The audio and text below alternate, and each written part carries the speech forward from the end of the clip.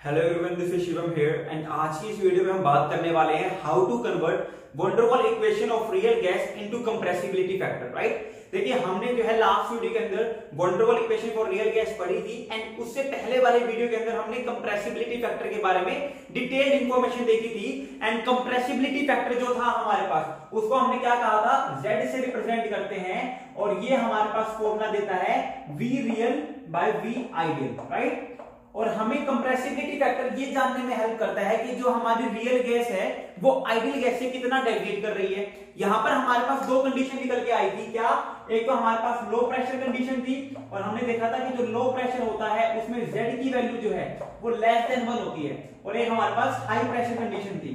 एक हमारे पास high pressure condition थी, जिसमें हमने पाया था कि z की वैल्यू ग्रेटर देन वन होती है। इसका मतलब क्या था? इसका मतलब था कि अगर हम लो प्रेशर कंसीडर करते हैं तो लो प्रेशर के ऊपर हमारे पास जो रियल गैस की वॉल्यूम है, वो कम होती है आइडियल गैस की वॉल्यूम के कंपेयर में। इसी वजह से जेड की वैल्यू लेस देन वन आती है, जबकि हाई प्रेशर पे अपोजिट हमें देखने को मिलता है।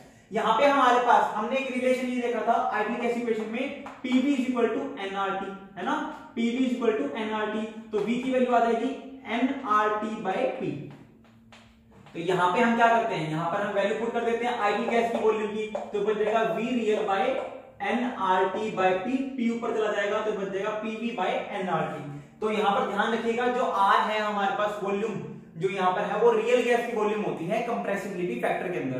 तो हम बात करेंगे कि हमें अगर कंपेयर करना पड़ जाए हमारी वॉन्डरवॉल इक्वेशन को कंप्रेसिबिलिटी फैक्टर के साथ तो हम कैसे कंपेयर करेंगे, कैसे कन्वर्ट करेंगे वॉन्डरवॉल इक्वेशन को रियल गैस इक्वेशन को कंप्रेसिबिलिटी फैक्टर के अंदर और क्या हमने जो करेक्शन इसके अंदर की थी, वो ठीक है या नहीं है, ये भी इस बात से समझ में आ जाएगा राइट तो देखिए, हमारे पास जो रियल गैस की इक्वेशन थी रियल गैस की इक्वेशन क्या थी? रियल गैस की इक्वेशन थी हमारे पास p plus n square a by V square v minus n b V minus n b is equal to n R T ये हमारे पास इक्वेशन थी। अब देखिए, पहली चीज़ तो हम क्या कंसीडर कर लेते हैं? नंबर ऑफ़ मोल्स जो है वो वन है। नंबर ऑफ़ मोल्स को हम वन कंसीडर कर लेते हैं, ताकि जो ये एन फैक्टर है, ये हमें प्रॉब्लम क्रिएट करके ना दे। दूसरी बात, एक बार हमें लो प्रेशर कंडीशन लेनी है, एक बार हमें हाई प्रेशर कंडीशन लेनी है। तो लो प्रेशर कंडीशन की अगर मैं बात करता हूँ तो आपने बॉयल फ्लो पढ़ा होगा। बॉयल फ्लो क्या कहता है? बॉयल फ्लो कहता है कि हमारे पास जो प्रेशर है, वो इनवर्सली प्रोपोर्शनल होता है वॉल्यूम के। जितना ज़्यादा प्रेशर होगा, उतनी कम वॉल्यूम जितनी कम प्रेशर होगी, उतनी ज़्यादा वॉल्यूम तो हमने क्या लिया है? लो प्रेशर कंडीशन कंसीडर करी है तो लो प्रेशर के ऊपर वॉल्यूम क्या हो जाएगी? बहुत ज़्यादा हाई अब एक बात बताइए, अगर मैं थाउज़ेंड में से पॉइंट ज़ीरो वन माइनस करूँगा तो जो आंसर आएगा वो ऑलमोस्ट थाउज़ेंड ही तो आएगा, है ना? तो यहाँ पर हमारे पास क्योंकि प्रेशर हमने लो कंसीडर करा है तो वॉल्यूम हमारी बहुत ज़्यादा हाई हो जाती है. और हाई वॉल्यूम होने के कारण क्या होगा? वॉल्यूम में से कुछ भी माइनस करेंगे तो वो ऑलमोस्ट क्या हो जाएगा? वॉल्यूम के इक्वल ही आएगा, क्योंकि एन तो यहाँ पे क्या हो गया हमारे पास वन एन तो हमने क्या कंसीडर कर लिया? वन तो हमारे पास लो प्रेशर के ऊपर क्या इक्वेशन बन जाएगी? ये बन जाएगी P plus a by V square multiply V is equal to R T अब मैं क्या करता हूँ? V को मल्टीप्लाई कर दू दोनों से तो बन जाएगा PV plus a by V is equal to R T right ये इक्वेशन हमें देखने को मिल गई है। अब हमें इसको कन्वर्ट करना है कंप्रेसिबिलिटी फैक्टर के अंदर। तो हम क्या करें? डिवाइड कर देते दोनों साइड आरटी से क्योंकि हमारे, हमें पता है जेड का फॉर्मूला क्या है? पीवी बाई आरटी है ना? तो यहाँ पे क्या करते हैं? डिवाइड कर देते हैं दोनों साइड आरटी से। तो आरटी से तो आरटी कैंसिल आउट हो जाएगा। ये बन जाएगा PV by R T is equal to sorry plus में a by V R T a by V R T is equal to one ठीक है? अब देखिए पीवी बाई आर टी क्या था हमारे पास? जेड तो ये हमारे पास पीवी बाई आर टी तो बन गया जेड तो जेड की वैल्यू आ जाएगी one minus a by V R T है ना? One minus a by V R T यानी कि वन में से हमने कुछ ना कुछ घटा दिया। यानी कि जो जेड की वैल्यू आएगी, वो क्या आएगी? वन से छोटी हमें देखने को मिलेगी। और देखिए था लो प्रेशर के ऊपर जेड की वैल्यू लेस देन वन हमें देखने को मिलती है। यानी कि हमने जो करेक्शन करी है रियल गैस की इक्वेशन में, जो प्रेशर करेक्शन एंड जो वॉल्यूम करेक्शन करी है, वो बिल्कुल ठीक है। अब देखते हैं हमारे पास हाई प्रेशर के ऊपर भी क्या ये फॉलो होती है या नहीं। अब हम देखते हैं हाई प्रेशर के ऊपर भी ये फॉलो होती है या नहीं होती है? तो लो प्रेशर पे तो हमारी जो इक्वेशन थी, वो बिल्कुल सही रिज़ल्ट हमें निकाल के दे रही थी। अगर आपने वीडियो नहीं देखी है रियल गैस की तो देखिए, देखिएगा ज़रूर। आपको लिंक जो है डिस्क्रिप्शन बॉक्स में जाके देखने को मिल जाएगा।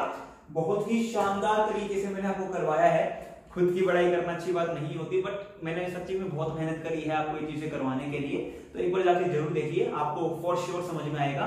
जो कंसेप्ट आपको नहीं पता थे, वो भी आपको जानने में हेल्प मिलेगी राइट अब बात करते हैं दूसरी कंडीशन की, वो है हाई प्रेशर कंडीशन तो हाई प्रेशर कंडीशन पे हमारे पास वॉल्यूम क्या हो जाएगी? बहुत लो वॉल्यूम क्या हो जाएगी हमारे पास? लो देखने को मिलेगी। क्यों? क्योंकि बोल फ्लो कहता है प्रेशर जो है वो इनवर्सली प्रोपोर्शनल होती है वॉल्यूम के। बोल फ्लो क्या कहता है? है वो इनवर्सली प्रोपोर्शनल होती है वॉल्यूम के। तो हमारे पास देखिए वॉल्यूम हमारे पास जो है, बहुत लो हो गई है हमारे पास प्रेशर क्योंकि बहुत ज़्यादा हाई था। तो ये वाली वैल्यू जो है, बहुत छोटी हो गई है। हमारे पास n square a by V square जो वी की वैल्यू है, ये हमारे पास बहुत ज़्यादा छोटी देखने को मिल गई है। तो यहाँ पर देखिए, यहाँ पर हमारे पास होगा क्या? जब हम ऐड करेंगे p plus n square a by V square V minus n b में तो हमें क्या इक्वेशन देखने को मिलेगी? हाई प्रेशर में हमारे पास हमें क्या देखने को मिलेगी? हमें यहाँ पर देखने को मिल जाएगा P, यहाँ पे हमें देखने को मिल जाएगा P मल्टीप्लाई में V माइनस एन बी ठीक है? P multiply V minus N B is equal to N तो हमारे पास वन है is equal to R T ठीक है? अब देखिए हुआ क्या? हमने प्रेशर बहुत ज़्यादा हाई ले लिया। तो ये वाली जो टर्म थी, a बाई वी स्क्वेयर ये वाली जो टर्म थी, a बाई वी स्क्वेयर वाली, क्योंकि n तो वन है, ये प्रेशर के सामने क्या हो जाएगी? ऑलमोस्ट नेग्लिजिबल हो जाएगी। क्यों? वही वाली बात है थाउज़ेंड में से पॉइंट ज़ीरो वन को अगर हम सब्सट्रैक्ट करेंगे तो ऑलमोस्ट थाउज़ेंड होगा। तो थाउज़ेंड में मैं अगर पॉइंट ज़ीरो वन को ऐड करूँगा, तब भी तो लगभग लगभग थाउज़ेंड की वैल्यू ही आएगी हमारे पास। तो हमने क्या किया? P plus N square A by B square क्या मान लिया? हमने p ही मान लिया। तो यहाँ पे क्या बन जाएगा हमारे पास? P minus P V is equal to R T divide कर देते दोनों साइड आर टी से तो P V by R T बन जाएगी। Is equal to minus P V by R T divided by R T. तो R T by R T one हो जाएगा। तो P V P V by R T क्या Z. Z minus P V by R T is equal to one, और Z की value आ जाएगी one plus P V by R T. यानी कि देखिए हाई प्रेशर के ऊपर क्या हुआ हाई प्रेशर में हमारे पास जो जेड की वैल्यू है वो ग्रेटर देन वन देखने को मिल रही है। यानी कि हमारी प्रेशर करेक्शन भी ठीक थी और वॉल्यूम करेक्शन भी बिल्कुल ठीक थी। तो ये था हमारे पास van der Waals equation of real gas और कंप्रेसिबिलिटी फैक्टर को हम कैसे आपस में इंटर कन्वर्ट कर सकते हैं। ये जो है कुछ टाइप ऑफ़ डेरिवेशन थे, लेकिन आपको ये डेरिवेशन करने थोड़े से आने चाहिए क्योंकि यहाँ से क्वेश्चंस जो है न्यूमेरिकल जो है, वो रिलेट करना स्टार्ट कर देते हैं। आपको जो है वॉन्ड्रोवल इक्वेशन के बेसिस के ऊपर कुछ ना कुछ जेड की वैल्यू निकलवानी निकलवाने निकालने के लिए दे देते हैं। प्रेशर बोल देंगे हाई था या नो था तो आपको अगर वोल्टरवॉल इक्वेशन पता है, अगर आपको ये कंसेप्ट पता है तो आप आराम से वोल्टरवॉल इक्वेशन को प्रेशर के प्रेशर के डिपेंड के ऊपर कि हाई दे रखा है लो दे रखा है, अपना कंप्रेसिबिलिटी फैक्टर आराम से निकाल सकते हो। तो आई होप आपको जो वीडियो है पसंद आई होगी। जो भी डाउट है इस कमेंट इस वीडियो के रिगार्डिंग वो आप कमेंट सेक्शन में कमेंट करके पूछ सकते हो, या फिर आप मेरे सोशल हैंडल्स के ऊपर जाकर मैसेज भी ड्रॉप आउट कर सकते हो। उनका लिंक आपको डिस्क्रिप्शन बॉक्स में भी देखने को मिल जाएगा और मेरे चैनल के अबाउट सेक्शन में भी जाके देखने को मिल जाएगा। So thank you very much have a good day